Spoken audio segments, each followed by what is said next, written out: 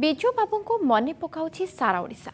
ଆଜି ହେଉଛି ପ୍ରବାଦ ପୁରୁଷ ବିଜୁ ପଟ୍ଟନାୟକଙ୍କ ପଚିଶତମ ଶ୍ରାଦ୍ଧ ଦିବସ।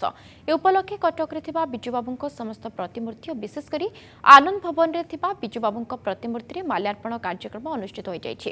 ଏ ଅବସରରେ କଟକ ଜିଲ୍ଲାପାଳ ସିଏମ୍ସି ମେୟର ବିଜେଡି ଜିଲ୍ଲା ସଭାପତି ଉପସ୍ଥିତ ରହି ବିଜୁବାବୁଙ୍କ ସ୍ମୃତି ଚାଳନା କରିଛନ୍ତି। ଆଜି ବିଜୁ ପଟ୍ଟନାୟକଙ୍କର ତିରୋଧାନ ଦିବସ ଉପଲକ୍ଷେ ଆମେ ଶ୍ରଦ୍ଧାଞ୍ଜଳି ଜଣାଇଛୁ। ଜିଲ୍ଲା ପ୍ରଶାସନ କଟକ ତରଫରୁ।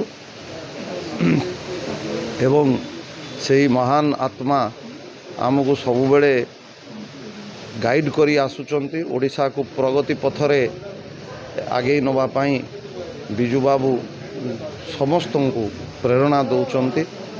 ଏବଂ ମୁଁ ଆଶା କରୁଛି ଯେ ଓଡ଼ିଶାର ଉନ୍ନତି ଆହୁରି ଅଧିକରୁ ଅଧିକ ହେବ।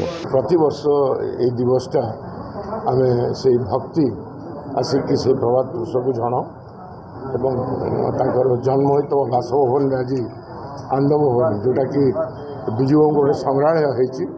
ପ୍ରଥମ ଆଜି ଏଇଠୁ ଆରମ୍ଭ କଲୁ ଏବଂ ବିଭିନ୍ନ ଜାଗାରେ ଯେଉଁଠି ବିଜୁବାବୁଙ୍କର ମୂର୍ତ୍ତି ଅଛି ସେଠି ଯାଇକରି ଆମେ ଆମର ଭକ୍ତି ଏବଂ ବିଜୁବାବୁଙ୍କ ପ୍ରତି ଆମର ଶ୍ରଦ୍ଧାଞ୍ଜଳି ଅ, ଜଣାଇବୁ।